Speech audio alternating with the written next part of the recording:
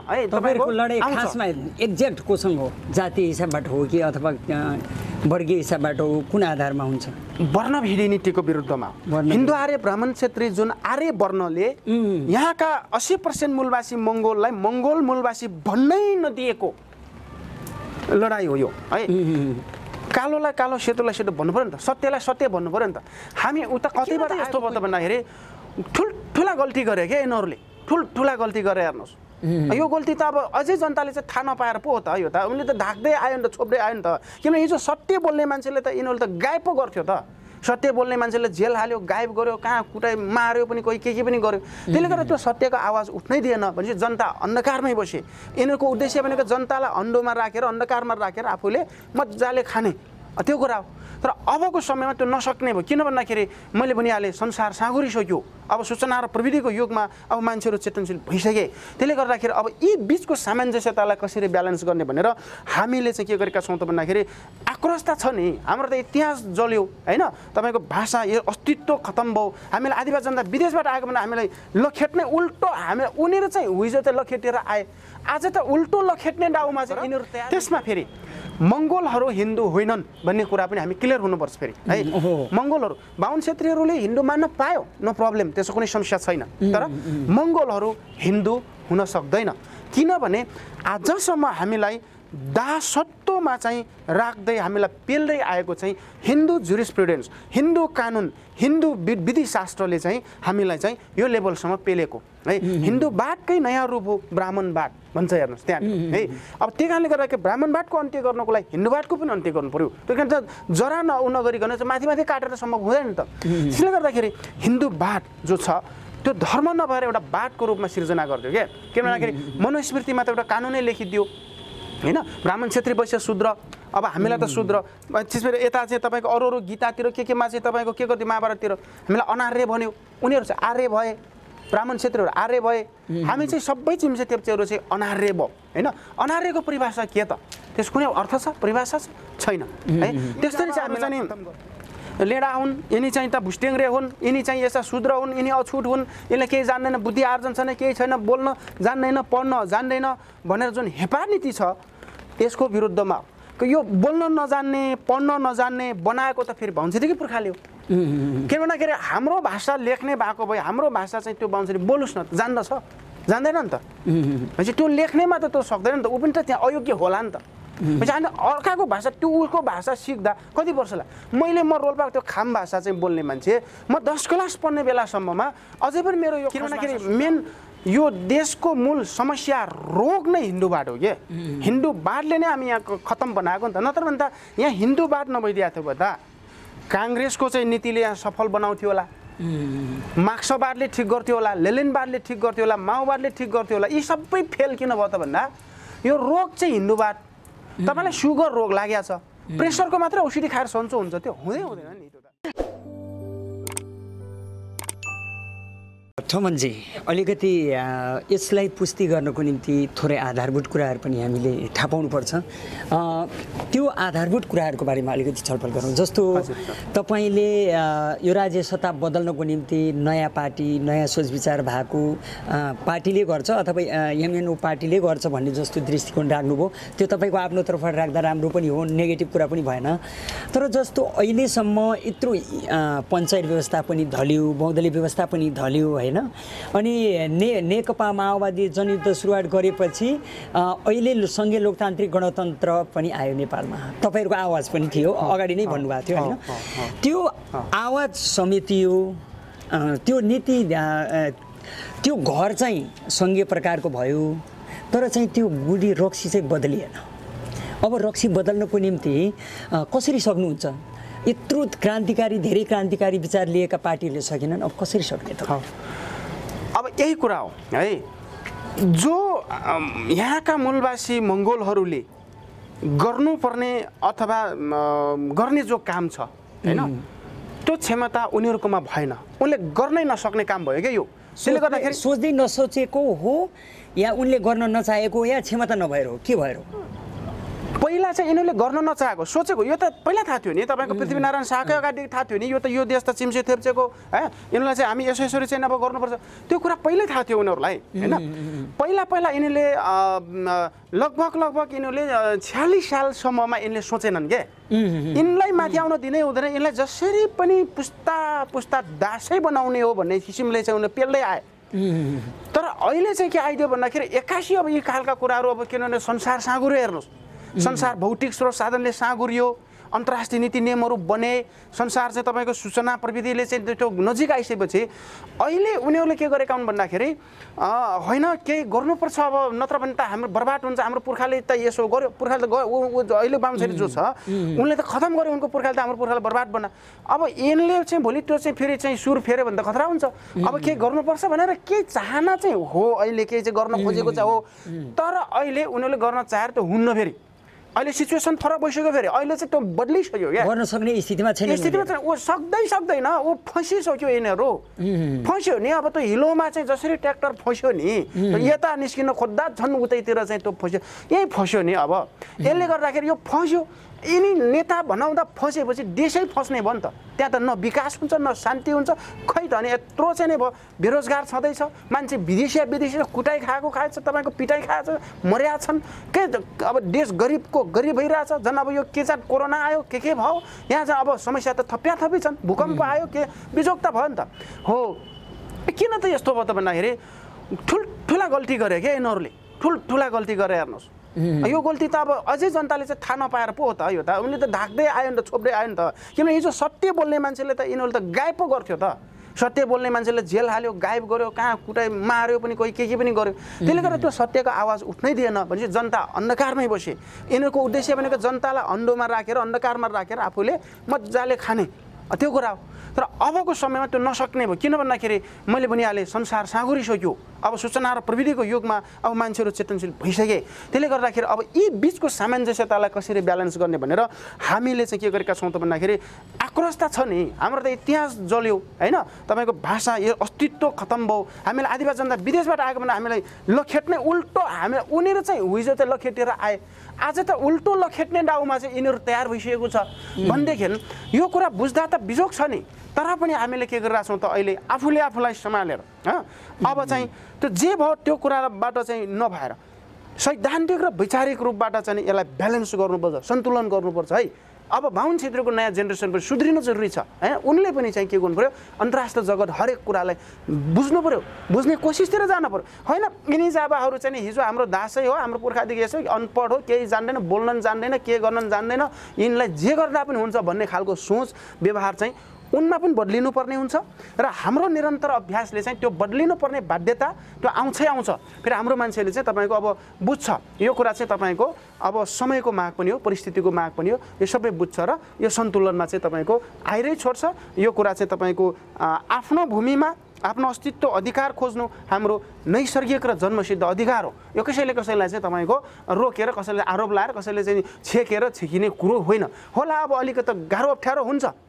स्वाभाविक हो किन क्रान्ति आफैमा सजिलो छैन। क्रान्ति भनेको परिवर्तन हो। परिवर्तन भन्ने कुरा चाहिँ त्यो चलिरहेको हेबिट बानी चेन्ज गर्ने कुरा हो नि त। त्यो नयाँपन ल्याउने हो नि त होइन? त्यसैले गर्दा यो गाह्रो हुनसक्छ।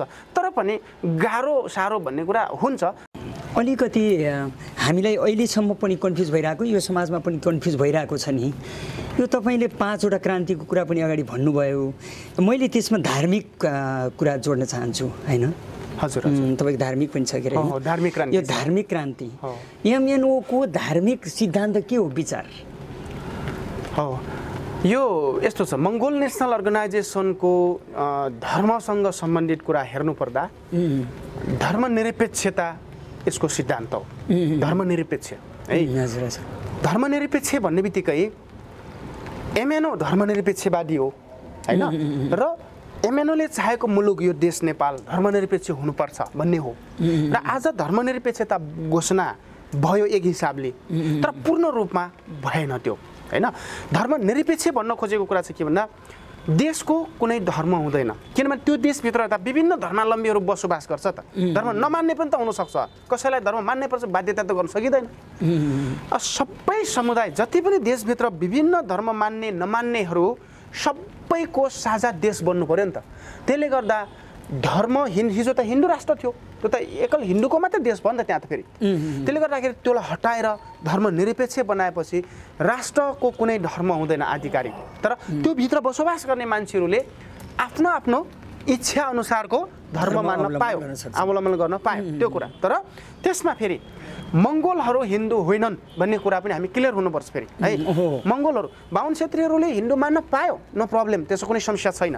तर मङ्गोलहरू हिन्दू हुन सक्दैन। किनभने आजसम्म हामीलाई दासत्वमा चाहिँ राख्दै हामीलाई पेल्दै आएको चाहिँ हिन्दू जुरिस्प्रुडेन्स हिन्दू कानुन हिन्दू विधिशास्त्रले चाहिँ हामीलाई चाहिँ यो लेभलसम्म पेलेको। है? हिन्दूवादकै नयाँ रूप हो ब्राह्मणवाद भन्छ हेर्नुहोस् त्यहाँ है? अब त्यही कारणले गर्दाखेरि ब्राह्मणवादको अन्त्य गर्नको लागि हिन्दूवादको पनि अन्त्य गर्नु पऱ्यो। त्यो कारण त जरा न नगरिकन चाहिँ माथि माथि काटेर सम्भव हुँदैन नि त त्यसले गर्दाखेरि हिन्दूवाद जो छ त्यो धर्म नभएर एउटा वादको रूपमा सिर्जना गरिदियो क्या? किन भन्दाखेरि मनुस्मृतिमा त एउटा कानुनै लेखिदियो होइन? ब्राह्मण क्षेत्री वैश्य शूद्र अब हामीलाई त शूद्र। त्यसपछि यता चाहिँ तपाईँको अरू अरू गीतातिर के केमा चाहिँ तपाईँको के गरिदियो महाभारततिर हामीलाई अनार्य भन्यो। उनीहरू चाहिँ आर्य भए। ब्राह्मण क्षेत्रीहरू आर्य भए हामी चाहिँ सबै चिम्से तेप्चेहरू चाहिँ अनार्य भयो होइन? अनार्यको परिभाषा के त? त्यसको कुनै अर्थ छ? परिभाषा छैन है? त्यसरी चाहिँ हामीलाई खतम गरिदियो। भनेपछि त्यति बेलाको हिन्दू धर्म ग्रन्थमा पनि उनीहरूको ग्रन्थमा आर्य लेख्यो। अहिलेको संविधान दुई हजार बहत्तर सालको संविधान धारा चौरासी उपधारा दुईमा पनि आर्य लेख्यो। त्यो त निरन्तर छ नि त त्यहाँ। तर हाम्रो चाहिँ के गर्यो मूलवासीलाई समेतेन समेटेन नि त्यो त मूलवासीलाई समेटेन। समेटे पनि तपाईँको त्यो के भइदियो अर्कै नामबाट समेट्न खोज्यो क्या। त्यति बेला चाहिँ अनार्य बन्यो। पछि फेरि शूद्र बन्यो होइन? शूद्रबाट चाहिँ फेरि मटवाली हुँदै तपाईँको बुस्टिङ्रे जङ्गली भन्दै अहिले त आदिवासी जनजाति दलित गराउँदै सबै त्यो शब्द भनेको हेपा शब्द। त्यो हेला गरेको शब्द हो क्या। तर हामीले के भन्दा मटवालीको अर्थ के हो? त्यो त बुझेनौँ नि त हामीले। जनजातिको पनि असली परिभाषा जनजाति भनेको चाहिँ पनि गाली हो त्यो है? त विदेशी भन्न खोज्या हो त्यो चाहिँ खासमा। के अरे जनजातिको त देशै हुँदैन नि। विदेशी गोमन्ते भने त विदेशी सिधै उनीहरूले विदेशी त भनेको भाइ हाम्रो मान्छेले रिस उठ्यो घाँसका दाउरा काट्ने आमा बालाई पनि रिस उठेर चाहिँ त्यहाँ बोल्न सक्थ्यो। जनजाति भने क्या हो क्या हो त्यो जनजाति? त्यो त अर्थ भएन है? जनजाति भनेको नाक नाक जस्तो भन्नु त्यो मात्रै भन्नु भनिदियो त्यो। तर त्यसको। असली अर्थ त जनजातिको अर्थ जुन छ नि त्यो लेखिएपछि त लेखेको पाइन्छ देखेको त पाइँदैन नि। लेख्यो जनजातिको त विश्व राजनीतिमा त जनजातिको कुनै पनि देश हुँदैन। देश नभएपछि त उसले न राजनीति गर्न पायो न त्यो देशको माथिल्लो वर्ग माथिल्लो सत्तामा चढ्न पायो। ओ त्यो शासकले चाहिँ माया गर दया गर कति दिन्छ त्यहीमा चित्त बुझाउनुपर्छ हेर्नु। जनजातिको अर्थ विश्व परिभाषा यो छ। त्यो अनुसार व्यवहार त विश्व जनजातिको व्यवहार हामीलाई यहाँ गरेको छ अहिले। तर परिभाषामा के गरिदिएछ भने यो चाहिँ राज्य सत्ताबाट पछाडि परेका मान्छेलाई यसो भनिन्छ अनि के जात भनिन्छ अनि चिम्चे थेप्चेलाई के जात ओ यसरी घुमायो क्या। भनेपछि मेरो खाम भाषामा तपाईँलाई जति गाली गरे पनि तपाईँले त बुझ्नुहुन्न नि त। होइन? भनेपछि यहाँ फरक पऱ्यो क्या। भने यो खस भाषा त बाहुन छेत्रीको भाषा हो नि त। यो त हाम्रो भाषा त हुँदै होइन। उसले गाली गर्यो कि के गर्यो? उसले चाहिँ के भन्यो के भन्यो? हो यसरी हामीलाई भुलाएको छ क्या यहाँनिर त्यसले गर्दाखेरि चाहिँ त्यो कुरा हामीले मान्दैनौँ। भन्ने कुरा चाहिँ यो आउँछ। धर्मनिरपेक्ष तपाईँहरूको धारणा। भयो। यो अहिले कर्मिक रूपमा भइरहेछ लागु नभइसकेको अवस्था भए पनि अब अलिकति जस्तो तपाईँले मङ्गोल यो मूलवासी भनेर भन्नुभयो मूलवासीभित्र क्राइटेरिया होला कुन कुन जातिहरू अथवा कुन कुन वर्णका मानिसहरू अथवा कस्तो मानिसहरू यो भित्र पर्छन्? यसको बारेमा पनि अलिकति कुरा यस्तो छ। यसमा त अब क्लियर छ हामीले भन्दै आएका छौँ ब्राह्मण छेत्री बाहेक अरू सबै मूलवासी हो। ब्राह्मण छेत्री बाहेक। छेत्रीमा पनि ब्राह्मण प्योरै भइहाले। छेत्रीमा पनि तपाईँको दहा छेत्रीहरू अब जस्तै खड्का कार्की कुँवर जीसी केसी बस्नेतहरू हिजो मगरबाट चाहिँ छेत्रीकरण गरिएका हुन्। त्यो त्यस्तो छ। प्योर चाहिँ तपाईँको आर्य होइन छेत्रीहरूमा पनि। होइन? तर त्यो चाहिँ गराइयो हिजोको राज्य सत्तामा चाहिँ उनले राम्रालाई चाहिँ के गर्यो त उनीहरूले भन्दा पृथ्वीनारायण शाहको समयमा भएको छ। है? यही मगरलाई राम्रो राम्रो खालको मगरलाई चाहिँ मगर गुरुङ तामाङ विशेष गरी।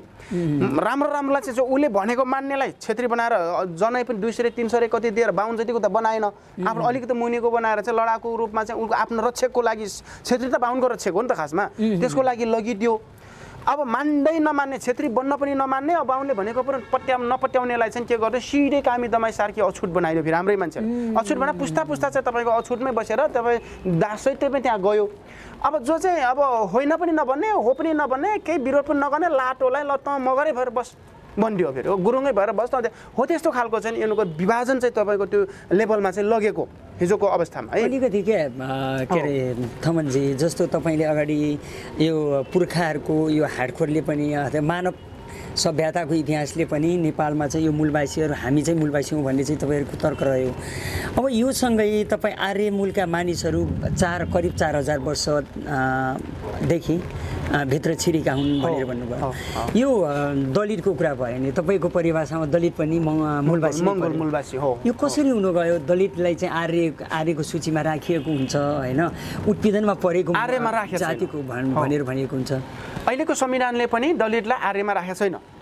अहिलेको संविधानमा आर्य भन्नाले स्पष्टीकरण दिएको छ त्यहाँ। आर्य भन्नाले ब्राह्मण छेत्री वैश्य के अरे ब्राह्मण छेत्री अ, गिरिपुरी सन्यासी ठकुरी मात्र भनेको छ क्या?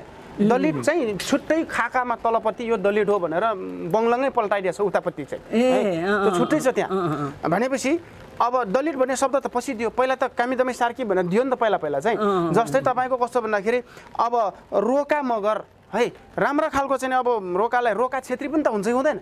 रोका छेत्री हुन्छ रोका मगर पनि हुन्छ रोका सार्की पनि हुन्छ क्या। त्यो सार्कीको पनि कोही कोही रोका हुन्छ फेरि त्यहाँ। भनेपछि त त्यो विभाजन हो नि त। बुढाथोकी मगर पनि हुन्छ बुढाथोकी छेत्री पनि हुन्छ अब बुढाथोकी कामी पनि हुन्छ क्या त्यहाँ तल फेरि।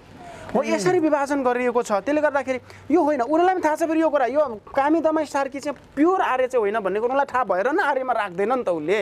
राख्दै राख्दैन। तर उसले भन्न त भन्छ नि अब यो कुरा हामीले एउटा कामको आधारमा उनलाई यो गरिएका हौँ भनेर भन्छ। ऊ त एउटा ठगी खाने एक खालको चाहिँ भ्रम सिर्जना गरेर लाने आफ्नो त्यो सत्ता टिकाउने काम त हो।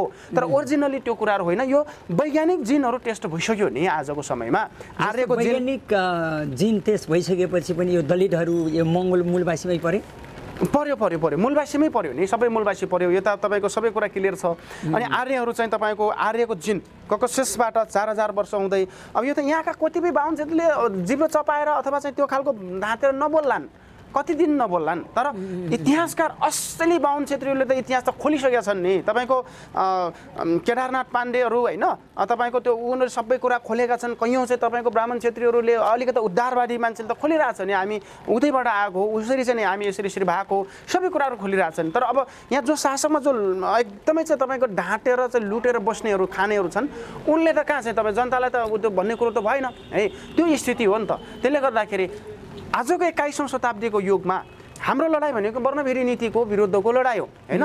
यो मामलामा चाहिँ लोकतन्त्रलाई मान्नु पर्यो धर्मनिरपेक्षलाई पूर्ण रूपमा मान्नु पर्यो सङ्घीयता सरकारलाई र मानव अधिकारमा समानता भातृत्व स्वतन्त्रतालाई पूर्ण रूपमा मान्नु पर्यो।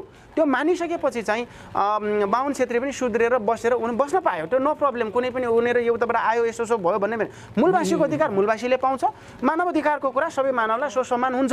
त्यसमा कुनै प्रब्लम छैन। तर फेरि नसुध्रिएर चाहिँ हेप्दै च्याप्दै ठेस्दै त्यो गऱ्यो भने फेरि त्यो समस्या हुन्छ। त्यो के गर्ने भन्ने कुरा त्यो उहाँहरूले जान्ने छ नि त। अहिले त सबै न्यायमा पनि उही तपाईँको सबै ठुल्ठुला चाहिँ सरकारमा पनि उही सबै कुरा।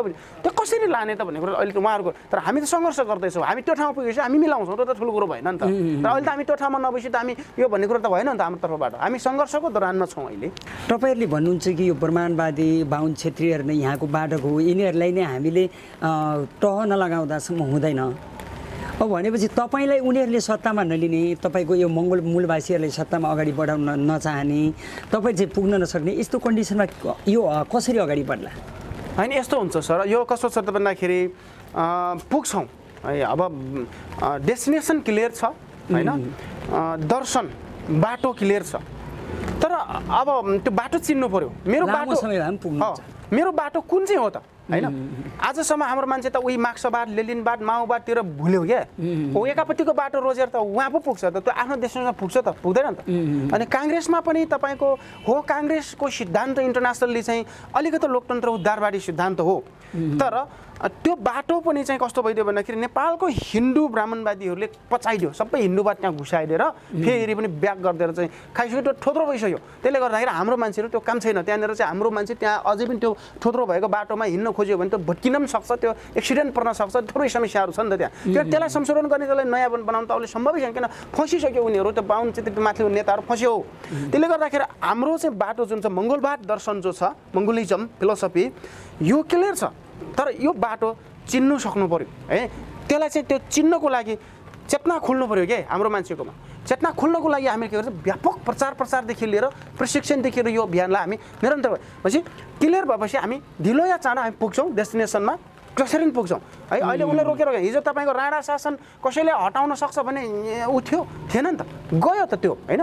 त्यत्रो चाहिँ तपाईँको पृथ्वीनारायण शाहले त्यो गरेको चाहिँ दुई सय चालिस वर्ष भन्नुहुन्छ तपाईँ हामी चार सय साठी वर्ष भन्छौँ। गयो त त्यो। संसारका कत्रा कत्रा चाहिँ तपाईँको मैहुम भन्ने चाहिँ अब तानाशाही त्यत्रो खालको चाहिँ ऊ सक्यो। जनता उठेपछि त्यस्तो हुन्छ। हाम्रो मान्छे त के हुन्छ? जनता हाम्रो मान्छे किन झट्टै उठ्न सकिरहेको छैन भन्दाखेरि यहाँको पेलाइ भनेको कति वर्ष भने साढे चार सय वर्षको पेलाइ छ यहाँ। है त्यो पनि फेरि चाहिँ तपाईँको कस्तो खालको पेलाइ भन्दाखेरि अब अफ्रिकामा एक खालको चाहिँ तपाईँको अब गोराले चाहिँ तपाईँको एउटा कृष्णनीतिको कुराहरू ल्यायो होइन? अब यतातिर तपाईँको यो चाइनातिर रसियातिर एउटा पुँजीवाद एउटा दास त्यो त्यो छुट्टै अलग थियो त्यहाँको समस्या। यहाँ त तपाईँको छ भन्दाखेरि ब्राह्मणवाद र हिन्दूवाद भनेको अर्कै खालको अचम्म कुरा चाहिँ तपाईँको त्यो दिदियो क्या? उनीहरूले सबैकै स्वर्ग नर्कको कुरा मात्रै भरोसा गर्ने अनि जे भग- भाग्यमा जे छ यही त भा होला भन्ने उसले कुट्यो पिट्यो अनि ए भाग्यमा मेरो यही थियो भनेर न्याय पनि नखोज्ने त्यस्तो बनाइदियो नि त यहाँको मान्छेलाई। अनि न चाहिँ अब पढायो पढाए पनि त्यो शिक्षा पनि त्यो सही छैन। हो यसरी चाहिँ ढिलो भएको हो। तर यो चाहिँ यो यो सट्टा चाहिँ ढिलो रहन्न। है तपाईँहरूको लडाइँ। खासमा एक्ज्याक्ट कोसँग हो? जाति हिसाबबाट हो कि अथवा वर्गीय हिसाबबाट हो? कुन आधारमा हुन्छ? वर्णभेदी नीतिको विरुद्धमा। हिन्दू आर्य ब्राह्मण क्षेत्री जुन आर्य वर्णले यहाँका अस्सी पर्सेन्ट मूलवासी मङ्गोललाई मङ्गोल मूलवासी भन्नै नदिएको लडाइँ हो यो। है। कालोलाई कालो सेतोलाई सेतो भन्नु पऱ्यो नि त। सत्यलाई सत्य भन्नु पऱ्यो नि त। हामी उता कतैबाट आएको कोही प्रमाण छैन। हामी त मङ्गोल हाम्रो वर्णै मिल्दैन नि त उसँग। मङ्गोललाई मङ्गोल भन्न चाहिँ किन न नसक्या उनले? होइन? आर्यले चाहिँ संविधानमा पनि लेख्न पाउने। अनि हामी मङ्गोल भएर जन्मेँ म मेरो गल्ती त होइन नि त। यो त प्रकृतिको हिसाबले नै म त्यस जन्मिया छु नि त। मलाई त्यो सम्बोधन किन भएन?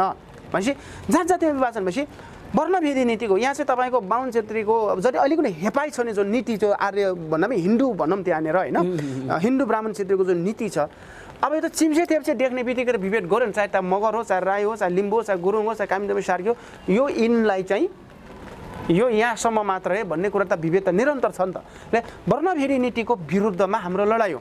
कोही व्यक्तिसँगको कुरा होइन बाहुन छेत्रीसँग डाइरेक्ट व्यक्तिगत हाम्रो लडाइँ होइन। उहाँहरूको जो नीति छ नि आफू सुपिरियर बन्ने। यी जाबाहरू चाहिँ नि लेडा हुन् यिनी चाहिँ त भुस्टेङ्रे हुन् यिनी चाहिँ यस्ता शुद्र हुन् यिनी अछुट हुन्। यसले केही जान्दैन बुद्धि आर्जन छैन केही छैन बोल्न जान्दैन पढ्न जान्दैन भनेर जुन हेपा नीति छ यसको विरुद्धमा। यो बोल्न नजान्ने पढ्न नजान्ने बनाएको त फेरि भन्छ पुर्खाले हो। किन भन्दाखेरि हाम्रो भाषा लेख्ने भएको भए हाम्रो भाषा चाहिँ त्यो बाहुन्सरी बोल्नुहोस् न जान्दछ। जान्दैन नि त। भनेपछि त्यो लेख्नेमा त त्यो सक्दैन नि त ऊ पनि त त्यहाँ अयोग्य होला नि त। भनेपछि हामी अर्काको भाषा त्यो उसको भाषा सिक्दा कति वर्ष लाग्यो मैले म रोल्पाको त्यो खाम भाषा चाहिँ बोल्ने मान्छे म दस क्लास पढ्ने बेलासम्ममा अझै पनि मेरो यो खस भाषा शुद्ध आउँदैन। दस कक्षासम्म त पढेँ नि त। तर किताबमा पढेको छु तर घरमा सबै गाउँ घरमा त मेरो भाषा प्रयोग हुन्छ। पर्फेक्ट भएन समाचारले के भन्छ त्यो अर्थै बुझिँदैन क्या कि त मेरो भाषामै सबै कुरा हुनु पऱ्यो हो यो चाहिँ एउटा ज्वलन्त एउटा मात्र उदाहरण। यस्ता त कैयौँ छ कैयौँ छ है? यसले गर्दाखेरि यो खालको विभेदको अन्त्य हुनुपर्छ। र मानव र स्वतन्त्रता आउनुपर्छ समानता बाध्यत्व हुनुपर्छ र यसको चाहिँ एउटा निरन्तर अभियानमा सर अब अलिकति हाम्रो कार्यक्रमको अन्तिम अन्तिम पनि तिर गइरहेछौँ अन्तिम अन्तिमतिर पनि गइरहेछौँ। यो नेपालको झन्डा बदल्नुपर्छ भन्ने अलिकति मस्कत पनि छ होइन? यो गाईलाई चाहिँ राष्ट्रिय जनावर राख्नु पनि हुँदैन भनेर पटक पटक बेला बेलामा यस्तो बहस भइरहन्छ होइन? तपाईँले चाहिँ कहिले प्रचण्डले गाई खाएको भनेर चाहिँ गाई खुवाएको खाएको पनि हो भन्ने तर्क गर्नुहुन्छ देखेको कुरा होइन? हिजो माओवादी आन्दोलनमा भएको कुरा पनि होला। त्यो- भएको कुरा पनि। अब यो जस्तो तपाईँले भनेको कुराले अरू धार्मिक अस्तित्वलाई अथवा अरू जातीय अस्तित्वलाई अलिकति कमजोर गराउने दमित गर्ने खालको वातावरण त हुँदैन? हुँदैन। त्यो त किन हुन्छ र? त्यो त कसो छ त भन्दाखेरि उहाँहरूले त मान्न पाउनुभयो नि। होइन उहाँहरूले आफ्नो धर्म मान्न पाउनुभयो सो सबैले चाहिँ त्यो पायो नि त्यो ठुलो कुरो भएन। तर हामीले गाईको कुरा चाहिँ नि हाम्रो पुर्खा त गाई खाने हो गाई त तपाईँको कुल पूजामै चढाउने हो। यो संसारको इतिहासको कुरा छ नि त होइन? अब यहाँ त गाई चाहिँ आमा हो भनेर त्यो भ्रम गर्ने। कसरी आमा भयो क्या वैज्ञानिक रूपमा चाहिँ अध्ययन गर्नु पऱ्यो नि त। जन्मियो चाहिँ कहिले जन्मियो कहाँ कुन चाहिँ गाईबाट जन्मियो त मान्छे? त्यो त प्रमाण हुनु पऱ्यो नि त एउटा कुरा। अर्को कुरा काठमाडौँमा ठुला ठुला सुपर फाइभ स्टार होटेलमा गाई गोरुको मासु बिना त्यो सुपर फाइभ स्टार होटेलहरू सुपर स्टार होटेलहरू चल्दैन। त्यहाँ गाई गोरुको मासु विदेशबाट इम्पोर्ट गरिन्छ। विदेशबाट ल्याएर त्यहाँ खुवाइन्छ क्या। त्यहाँ ठुल्ठुला होटेलमा छ। यहाँको गाई गोरु चाहिँ जथाभावी छ। उताबाट चाहिँ तपाईँको त्यो ल्याएर त्यो खालको चाहिँ नि त्यो गरिरहेको छ। महँगो त्यो खालको। महँगो खालको। त्यो के के महँगो त त्यो केक चाहिँ हो त महँगो त उसले त्यो खायो नि त त्यहाँनिर होइन? अब मैले भनेको कुरो चाहिँ होइन ठिक छ। अब म, कमसे कम पनि यो राष्ट्रिय जनावरबाट यसलाई हटाउनुपर्छ। है पुज्नेले पुज्छ खानेले खान्छ नि। आजको दुनियाँ भनेको स्वतन्त्र लोकतन्त्रमा स्वतन्त्रता होइन। चाइनामा चाहिँ तपाईँको त्यो बन्द छ यो कुरा अरू संसारमा बन्द छ छैन नि त यो कुरा त। यहाँ त हाम्रो मान्छेलाई चाहिँ कसै फेरि हिन्दू आर्य ब्राह्मण उनीहरूको गुरु वशिष्ठ भन्छ क्या। हिन्दूको गुरु वशिष्ठले के भनेको छ? तिम्रो छोराछोरी बाहुन छेत्री हो तिम्रो छोराछोरीलाई बुद्धिमान बनाउनु छ भने बाछाको मासु घिउमा पकाएर खुवाउनु भनेर लेखेको छ धर्मग्रन्थमा। एउटा। अर्को कुरा केदारनाथ पाण्डे भन्ने बाहुन राहुल संस्कृत्यान भनेर पनि चिनिन्छ। बोल्गासे गङ्गाटक भन्ने एउटा किताब लेखेको छ। बाहुन छेत्रीको पुर्खा युरोपको बोल्गा नदीबाट भारतको गङ्गा नदीसम्म कसरी आइपुगे त भनेर इतिहास खर्लङ्ग छ त्यहाँ त्यहाँ लेखिएको छ बाहुन छेत्रीले त्यति बेला दुई हजार गाईहरू काटेर दिनमा चाहिँ खान्थ्यो। त्यतिले पनि मासु नपुगेर झोल मात्रै बाँडेर खानु पर्थ्यो लेखेको छ त त्यहाँ। यही कारण उनीहरूले खाँदा चाहिँ मासु चाहिँ भयो राम्रो भयो। हामीले खाने बेला चाहिँ यो चाहिँ हाम्रो अपराध। भयो यो चाहिँ अपराध भयो यो भयो ऊ भयो भने। हिजो प्रचण्डले त्यत्रो चाहिँ मारेर चाहिँ खुवायो। कोही अपराध भयो कोही मान्छे मऱ्यो यो उल्ट्यो संसार पल्ट्यो पल्ट्यो। है? के त यो कुरा है? यो यसो हुनु हुँदैन क्या? यो कुराहरू चाहिँ तपाईँको स्वतन्त्र हुन्छ। पुज्ने के हुन्छ तपाईँहरूको? अब राष्ट्रिय छ। विभेद छ। राष्ट्रिय कारवाही हुन्छ तपाईँहरूले खायो भने। कारवाही त गरिरहेछ त उनीहरूले। तर के गर्ने? अब यो कारवाहीको विषयमा त हामी भनिरहेछौँ नि यो त तपाईँको यो गल्ती कारवाही चाहिँ गर्यो ठुन्यो नि त। यस्तो खालको कानुन बनाउने यस्तो खालको नीति नियम बनाउने यस्तो खालको नीतिमाथि शासन गर्ने को त भन्दाखेरि यी शासकको गल्ती होइन उनीहरू जिम्मेवार हुनुपर्छ पर्दैन अब। यो कुरो त अब जनताले बुझ्छ नि हेर्नुहोस् है। अब यहाँनिर मैले भन्नु अब हामी के गर्नु पर्यो? राष्ट्रिय जनावर परिवर्तन गरेर कस्तुरी मृगलाई राष्ट्रिय जनावर बनाउनु पर्यो। गाई हटाउने पुज्नेले पुज्छ खानेले खान्छ जेसुकै गरोस् त्यो चाहिँ स्वतन्त्रता हुनुपर्छ। भन्ने कुरामा त्यो स्वतन्त्रता बल्ल मात्रै लोकतन्त्रको पूर्ण आभास र पूर्ण रूपमा सबै जनताको चाहिँ त्यो कुरा आउँछ। र झन्डाको कुरा। झन्डाको विरोध किन? झन्डाको कुरा चाहिँ तपाईँको छ भने झन्डा त अराष्ट्रिय झन्डा हो हामीले भनिरहेका छौँ। होइन हिजो पृथ्वीराज चौहान अन्तिम हिन्दू राजा इन्डियामा उसलाई मारिदियो नि त त्यहाँ। मारिदिइसकेपछि त उही त्यो झन्डा चाहिँ लिएर चन्द्र सूर्य त थिएन। त दुई चुच्चे त लिएर आयो नि त। पहिला त हिन्दू मन्दिरमा मात्रै थियो। जब राजा महेन्द्रले दुई हजार उन्नाइस सालमा नेपाल हिन्दू राष्ट्र घोषणा गरेपछि मन्दिरबाट उखलेर ल्याएर नेपालको राष्ट्रिय झन्डा त यही मन्दिरको झन्डा चाहिँ अब राष्ट्रिय झन्डा बनाउने। अब चन्द्र र सूर्य भनेको राजाको प्रतीक हो चन्द्रवंशी राजा यहाँका बुद्धिस्ट राजाहरू हुन् सूर्यवंशी राजा इन्डियाको राजा सूर्यवंशी हुन् ज्ञानेन्द्रका पुर्खाहरू इन्डियाबाट आएको सूर्यवंशी चन्द्र चन्द्रमा माथि सूर्य तल भनेको चन्द्रवंशीलाई विस्थापित गरेर उनलाई मारेर सूर्यवंशीले उनको भूमिमा राज गरेको भन्ने प्रतीक हो। भनेपछि राजाले त्यो झन्डा बनाउने भएपछि त राजतन्त्रलाई प्रतिनिधित्व गर्ने झन्डा राजतन्त्रलाई प्रतिनिधित्व गर्ने सेना राजतन्त्रलाई प्रतिनिधित्व गर्ने लोगो राखेर राख्दैन उनीहरूले। चाहिँ तपाईँको त्यो दुई चुच्चे भनेको चाहिँ त्यसले अब जनरली चाहिँ त्यो हाम्रो यहाँको सम्पूर्ण समुदायको प्रतिनिधित्व गर्दैन। त्यसले उही हिन्दू आर्य ब्राह्मण क्षेत्रीको मात्रै प्रतिनिधित्व गर्छ है यसले। भन्ने खालको एउटा सङ्केत र हिजो हिन्दू राष्ट्र हुँदाखेरि यो झन्डा फिट थियो नि त। हिजो हिन्दू राष्ट्र पञ्चायत राष्ट्रमा फिट हुने राष्ट्रिय झन्डा आज लोकतन्त्रमा कसरी फिट हुन्छ? सङ्घीय सङ्घीय लोकतान्त्रिक गणतन्त्रमा कसरी फिट हुन्छ? भने चाहिँ शाही शासन के तपाईँको त्यो उसलाई चाहिँ तपाईँको शाही सरकारलाई होइन शाही सेनालाई नेपाली सेना श्री पाँचको सरकारलाई नेपाली सरकार नेपाल सरकार हिजो गाविस बनाएको थियो उनीहरूले गाउँपालिका भयो अहिले यावत कुरा चेन्ज हुनु पऱ्यो नि त त्यो कन्स्ट्रक्सन सबै कुरा। भनेपछि झन्डा किन चेन्ज नहुने? भनेदेखि त यो त नक्कली रहेछ त फेरि। यसलाई त ढोका दियो त यिनले फेरि जनतालाई। राष्ट्रलाई ढोका दिइरहेछ त? यसलाई असली लोकतन्त्रवादी हो भने झन्डा परिवर्तन गर्नु पर्यो। होइन? हाम्रो पनि प्रस्तावित छ उनले पनि प्रस्तावित गरोस्। असली लोकतन्त्र पनि मङ्गोलले मात्रै होइन नि। जो जसले लोकतन्त्रको बारे भुलिरहेको छ एमाले माओवादी लगायतका सबै मान्छेहरूले सबैले राष्ट्रको राष्ट्रमा सुहाउँदो सबै जनतालाई प्रतिनिधित्व गर्ने राष्ट्रिय झन्डा हुनुपर्छ। भन्ने कुरा भावना समेट्ने पर्यो नि त त्यसले। तब पो बल्ल हामी चाहिँ सबैको चाहिँ अब त्यसको लागि ज्यान पनि दिने कुरा आयो। अब हाम्रो समेट्दैन मेरो नभएपछि म कसरी ज्यान दिने त्यहाँ? म त हेपिरहेको छु। त्यो झन्डाले त मलाई त यो देशको मान्छे होइन बनाइरहेछ। त्यो त पञ्चायत हो नि त पञ्चायत सरकारको झन्डा त विदेशबाट आएको त्यो खालको त राजतन्त्रको प्रतिनिधित्व राजा त छँदै छैन नि आज। अनि त्यसलाई राजाको प्रतिनिधित्व गर्ने झन्डा यहाँ राखेपछि अर्को एक्सिडेन्ट बन्छ बन्दैन भोलि। समस्या हुन्छ नि त। जनतालाई धोका दिइरहेछ। त्यसले गर्दा यसो गर्नु हुँदैन है। यो असली लोकतन्त्रभित्रमा चाहिँ यो पर्दैन। यसलाई परिवर्तन गरेर सबैलाई सुहाउँदो सबैलाई समेटिनु खालको चाहिँ झन्डा चाहिन्छ भनेर हामीले यसलाई चाहिँ हामी वैचारिक रूपमा आवाज उठाइरहेछौँ होइन? तर हाम्रो इन्टेन्सन यो होइन कि अहिले तत्कालै यसलाई चाहिँ अँ, काटिहाल्नु पर्ने जलाइहाल्नु पर्ने यसलाई खतम गरिहाल्नु पर्ने भन्ने कुरा चाहिँ होइन।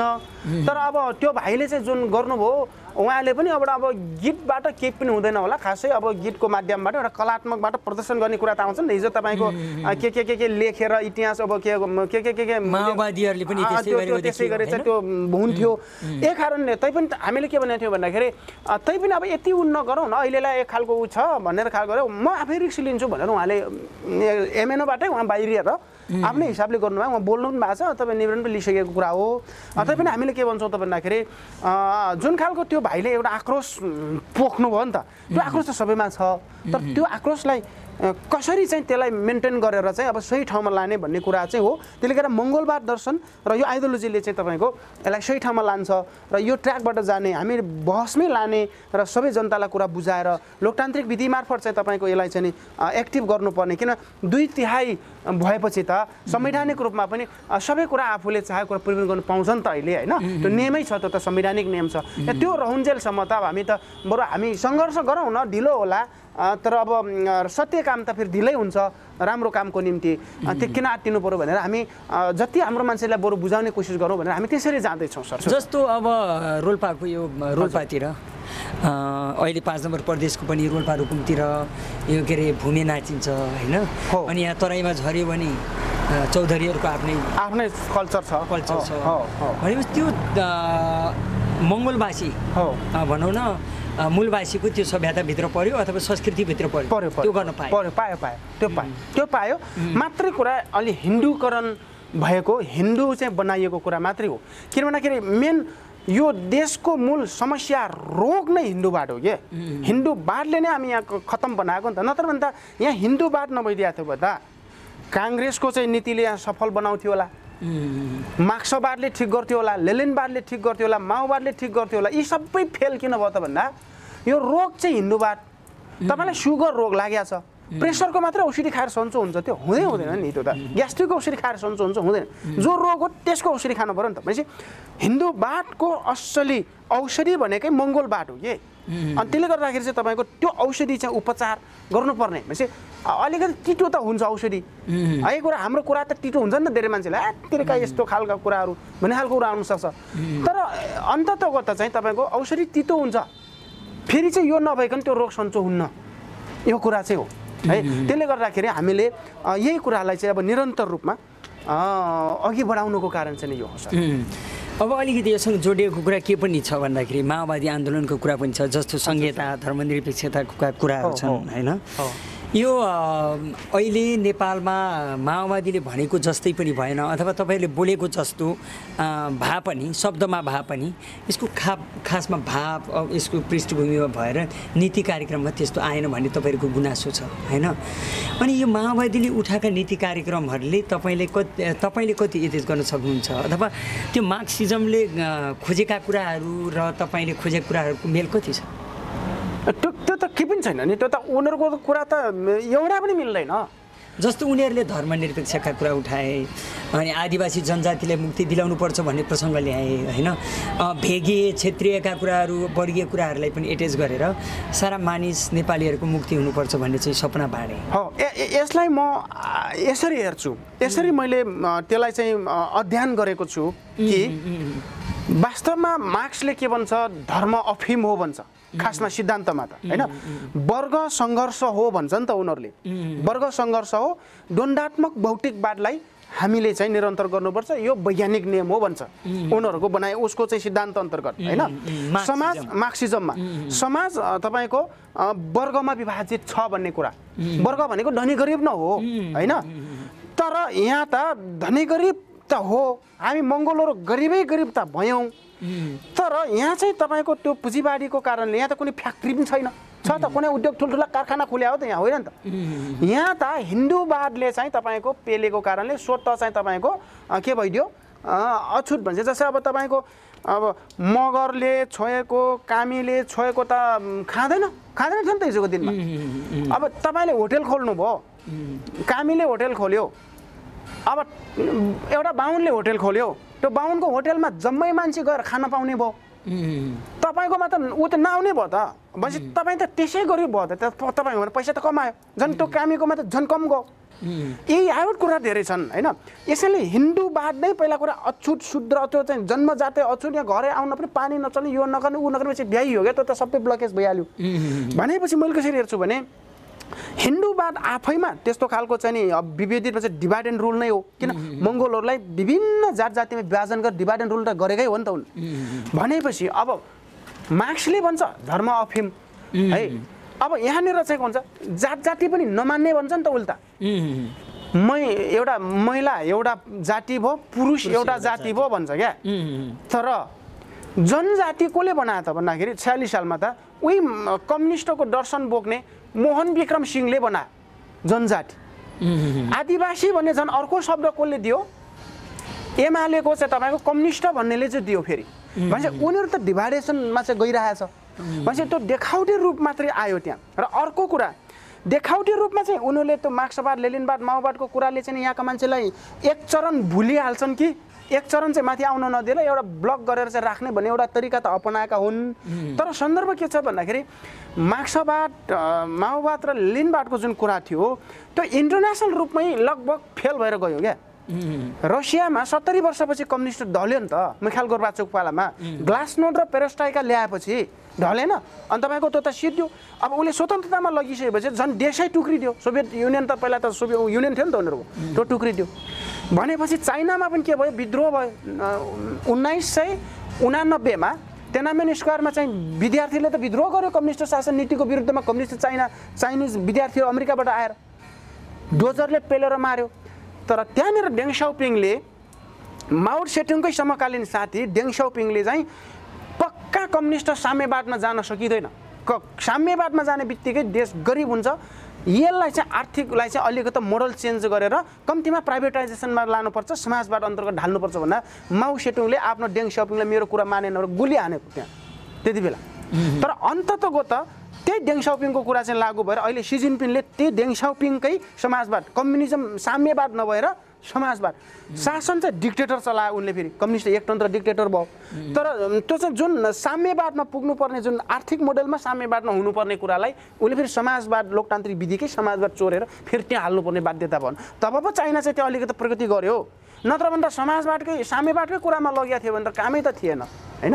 अब उत्तर कोरियाको हालत कस्तो भयो? हो यही प्रक्रियाले चाहिँ तपाईँको त्यहाँ ढलेको हुना कमजोर भइसकेको हुनाले अहिले सी जिनपिङले चाहिँ आफ्नो छुट्टै विचारधारा सी जिनपिङ विचारधारालाई चाहिँ ल्याएर अघि बढिरहेको स्थिति छ। पछि नेपालमा पनि के भने माओवादी हरायो। हिजो बाबुराम प्रचण्डले गरे माओवादी कहाँ गयो त? आज उनीहरू कहाँ कहाँ छन्?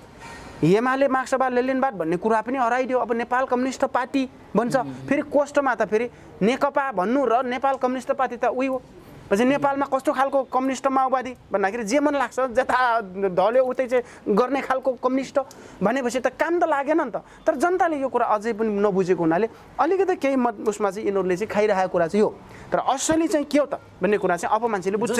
नाराको रूपमा तपाईँले मैले अघि अ- फेरि पनि दर्शाउन चाहन्छु होइन? यो धर्मनिरपेक्षका कुराहरू यो झन्डा बदल्ने कुराहरू अनि गाईको प्रतीक बदल्ने कुराहरू गणतन्त्र ल्याउने कुरा सङ्घीयताका कुराहरू माओवादीले आफ्नो नारामा लिएर गयो। तपाईँलाई थाहा छ रोल्पा रुकुममा मात्रै नभएर देशको अस्सी पर्सेन्ट भूभागमा आफ्नो जनसरकार घोषणा गर्यो। जनसरकार घोषणा गरेर जनपरिषदहरू निर्माण गर्यो। त्यो त यो एउटा एउटा अभ्यास थियो। तर त्यो अभ्यासलाई पूर्णता नदिएर अहिले माओवादी आन्दोलन दरबारमा गयो। सिंहदरबारमा पुगेपछि त्यो सकियो। तपाईँको अर्थमा सकियो त्यस्तै सकियो। अब भनेपछि त्यो उसले उठाएका पोलिटिक्स त्यो दृष्टिकोणहरू थियो नि। त्यो दृष्टिकोणहरू त तपाईँहरूसँग पनि मेल खाँदो रहेछ। अनि त्यो मेल खाएको कुरालाई तपाईँले कसरी डिफाइन गर्नुहुन्छ कि? अथवा यसले कसरी छलफलमा ल्याउनुहुन्छ? हामीले नै गरेको अथवा माओवादीले गरेको ठिक थियो या बेठिक थियो के अर्थमा ग्रहण गर्नुहुन्छ? यो त हाम्रो तर्फबाट त अब माओवादीले गरेको त अब खासै त्यस्तो छैन। एउटा कुरा चाहिँ के हो भन्दाखेरि राजतन्त्र अन्त्य गर्नको निम्ति मेरो बुझाइमा हतियारको आवश्यक थियो कि त्यो समयमा? भन्ने कुरा चाहिँ हो होइन? तर अब हतियार चलाउनु पर्ने। तर अहिले हेर्दाखेरि त माओवादी त वीरेन्द्रकै सरसल्लाहमा अघि बढाएर छ भन्ने कुरा आयो त। यिनीहरू त सबै दिल्लीमा बसेर छ। दिल्लीमै बसेर सबै कुरा कनेक्सन त्यहाँनिर रहेछ। फेरि एउटा कुरा त यिनीहरूले त पहिला त एकैचोटि चाहिँ शाही सेनासँग लडाइँ त लड्या होइन। पहिला त पुलिस चौकी मात्रै हान्दै गएको थियो यिनीहरूले पुलिस चौकी मात्रै कब्जा गर्दै हिँडिराखेको थियो। भनेपछि त्यहाँ फरक रहेछ नि त। शाही सेना चाहिँ राजाको भयो सेना त के अरे पुलिस त राजाको भएन नि त। त्यो त यतापट्टि सरकारको भयो क्या अरू चाहिँ उसमा। त्यसले गर्दा त्यसलाई मात्र टार्गेट गरेको। जब अन्ठाउन्न साल पछाडि मात्रै राजा ज्ञानेन्द्र आइसकेपछि बल्ल चाहिँ त्यो उसले कु गर्यो के गर्यो कर्याप ज्याप गरेपछि चाहिँ बल्ल त्यहाँनिर चाहिँ उनीहरूको पनि त्यो बदलेर गणतन्त्र के के के के के भन्दै जानुको एउटा विकल्प त्यो देखियो। तर वास्तवमा हेर्दा हेर्नु पर्दाखेरि यिनीहरूले पनि तपाईँको म्याक्सिमम् बार्गेनिङ गरेको कुरा देखिन्छ। वीरेन्द्रसँग पनि बार्गेनिङ गरेका छ ज्ञानेन्द्रसँग पनि बार्गेनिङ गरेका छ यिनीहरूले। है किन भन्दाखेरि एकतन्त्र कम्युनिस्ट पनि एकतन्त्र हो। राजतन्त्र पनि एकतन्त्र हो हेर्नुहोस्। त्यहाँ कसैलाई चुनाव दिन्न नि त? भनेपछि सत्ता साझेदारीको लागि त यिनीहरूले चाहिँ त्यो व्याख्या त गरे रहेछ नि त। तर अन्ततको त चाहिँ कुरा के भइदियो त भन्दा नेपालमा चाहिँ जो डक्टर गोपाल गुरुङज्यूले उठाउँदै आउनुभएको चाहिँ लोकतन्त्रको कुरा चाहिँ व्यापक रूपमा माथि उठ्दै उठ्दै उठ्दै जाने एउटा स्थिति र समय सिचुएसनले पनि त्यो कुरा ल्याइसकेपछि त अब चुनाव बैठकबाट सबै कुराहरू चाहिँ अब हामी पनि लोकतन्त्र गणतन्त्र धर्मनिरपेक्षता संहिता कुरा जनरल कुरा त फेरि पछाडि चाहिँ तपाईँको त्यो कुराहरू उनले जो ल्याउनु परेको थियो उसले बोल्छ नि उनीहरू किन बोल्छ त भन्दाखेरि अब हाम्रो मान्छेले बोलाउनु छ। हामीले बोलिरहेको कुरा कतिपय उसले फ्याट्टै उहाँ लगिदिन्छ बोल्छ। दिन्न फेरि उसलाई थाहा छ। यो यति नबोलिदिने हो भने त यहाँ हाम्रो पार्टीबाट खुस्किएर उतै जान्छ फेरि यिनीहरू भनेर ऊ त्यहाँ रोक रोक्नको लागि त बोलिदिन्छ नि त। तर अब त्यो चाहिँ उहाँ ढिलो चाहिँ त पछि पुग्दैन पुग्दैन। त्यहाँसम्ममा त अब हेर्छ नि त। जिन्दगी जान्छ त्यहाँ त। अनि ढोका दिएको छ भोलि पचास साठी वर्ष बल्ल ए यसले ढोका दिएछ भने फेरि जिन्दगी त आउँदैन। अनि एक पुस्ता त्यहाँ बिट्यो अर्को पुस्ता त्यहाँ बिट्यो गर्दा गर्दा यो भएको। त्यसले गर्दाखेरि अहिले प्रष्ट रूपमा हेर्ने हो भने एउटै हो उनीहरू। नाम मात्रै नारा मात्रै फरक हो। त्यो राजतन्त्र भनेको पनि हिन्दूवादभित्रै चल्ने ऊ विदेशबाट आएको ब्राह्मण छेत्री भित्रै पर्छ। राजा पनि त छेत्री हो नि त। होइन? राणा पनि त छेत्री हो। है? ब्राह्मण भइहाल्यो। किनभने राजाको सल्लाहकार तपाईँको ब्राह्मणै हो। राजा त सिरी पाँच मात्रै हो। अझ सिरी छ त बाहुन। ऊ चाहिँ माथि उसले जे जे भन्छ त्यही गर्नु पर्थ्यो। नियम पनि उसले लेख्थ्यो। अनि त्यहाँबाट लागू गर्ने पो राजाले मात्रै हो त। नीति नियम बनाउँदा उही त बाहुन हो। यो शूद्रलाई यसो गर उसलाई यसो गर उसो गर भने सबै उसैले बनाउँथ्यो। सबै उयो भनेपछि शासन सत्ता मात्रै परिवर्तन भयो क्या। शासन ना नारा झन्डा पार्टी परिवर्तन। मान्छे उही नीति उही व्यवहार उही। आज लोकतन्त्र आउँदा पनि उही किन भयो त भन्दाखेरि त मान्छे त उही त अनुहारै चेन्ज नहुँदासम्म त्यो त्यो खालको एउटा खाडल त्यो खालको लाइन नै परिवर्तन नहुँदासम्म अब हुँदैन क्या? भनेपछि अब त्यसलाई परिवर्तन गरेर कसलाई राख्नु परेको छ त भन्दा असली यो चाहिँ साढे चार सय वर्षदेखि विभेदमा परिएको यो भूमिको उसबाट चाहिँ बिछोड गरिएको डाँडा पाखा पखेरा भाषा यहाँका चाहिँ ओरिजिनलसँग चाहिँ बिछोड बनाइएका विदेशतिर चाहिँ खेद्न खेदिन बाध्य बनाइएका व्यक्ति जो मूलवासीहरू छ स्वयं उनीहरूलाई नै अब यो देशको चाहिँ ठिक ठाउँमा चाहिँ नपुर्याउँदासम्म नपुग्दासम्म यो कुरा बन्दैन। भन्ने कुरा हामीले त्यो लामो भिजन देखिसकेको अवस्था हो। त्यसले गर्दा त्यो लेभलमा हामी निरन्तर रूपमा हिँड्ने र हिँडाल्ने हाम्रो चाहिँ अभ्यास हो।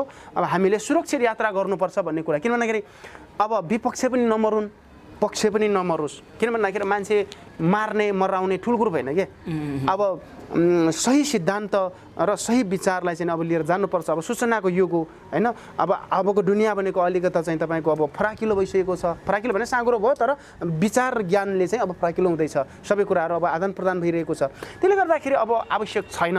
कुनै हत्या हिंसाको कुरा हतियारका कुरा आवश्यक छैन भन्ने कुरा हो। मैले भनिहालेँ माओवादीको कुरा पनि त्यो भित्रै पर्ने कुरा। आखिर बाबुराम प्रचण्ड उही लेभलकै मान्छेहरू भए। नारा नाम पार्टी के के के चेन्ज त गरे तर भित्री रहस्य गुडी उही थियो। गुडी को जानु पर्थ्यो असली हिन्दू मूलवासी मङ्गोलहरू त्यहाँ गुडीमा गएपछि मात्र न बल्ल आउने कुरा हो। त्यो चाहिँ आउन दिएको छैन अहिले। तर त्यसको लागि निरन्तर छौँ र अब आउँदै गरेको चुनावहरूमा अब हामी बिस्तारै बिस्तारै अब हामी एकैचोटि नभए पनि स्टेप बाई स्टेपको पाइलामा हामी जित्दै जान्छौँ। अब यो हामी निरन्तर छ। किनभने यो त हाम्रो चाहना पनि होइन यो त आम पीडित मूलवासी मङ्गोलहरूको चाहना हो हेर्नुहोस्। आउने भावी सन्ततिहरूको चाहना र उनीहरूको नैसर्गिक र जन्मसिद्ध अधिकारको कुरा हो। त्यसले गर्दा हामी त बोल्ने र निरन्तर हिँड्ने कुरा हो। बाँकी चाहिँ उहाँहरूले चाहिँ अब कसरी चाहिँ बुझ्दा बुझ्छ त्यो कुरा चाहिँ ढिलो हुँदैन सर। अलिकति यहीँनिर पनि अझै स्पष्ट गराउँ जस्तो मैले भन्न खोजेको तपाईँलाई सार कुरा के हो भन्दाखेरि यो माओवादीले उठाएका कुराहरू तपाईँको विचार दृष्टिकोणसँग मेल खायो होइन? त्यो मेल खाएको हुनाले तपाईँले म्याक्सिजम पनि नमान्ने अनि माओवादीहरूको नीति कार्यक्रमसँग पनि मेल खाने खालको भयो। यो भएको हुनाले यसमा अन्तर चाहिँ के रह्यो भनेर मैले चाहिँ तपाईँलाई प्रश्न गरिरहेको थिएँ। हजुर सर। अन्तर त यस्तो छ अब डिफ्रेन्ट छँदैछ। किनभने मार्क्सिजम हामी मान्यो हामी मङ्गोलिजम मान्छौँ।